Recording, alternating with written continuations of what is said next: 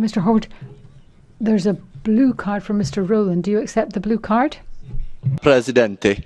I would like to ask uh, Mr. Horwood the question Is he prepared to compromise the structures of deterrence that NATO have provided for the past 70 years to ensure peace not only in Europe but around the world? And why on earth would he jeopardize that most important transatlantic relationship?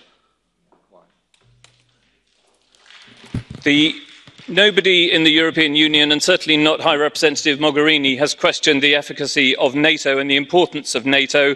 It is because we want an integrated uh, response to the threats in this increasingly dangerous world that we need both structured European defence cooperation but also collaboration through NATO. The person who has questioned NATO is actually Donald Trump, who is closer to your party's beliefs and ideas of populism and nationalism than anyone in this Parliament, in my view.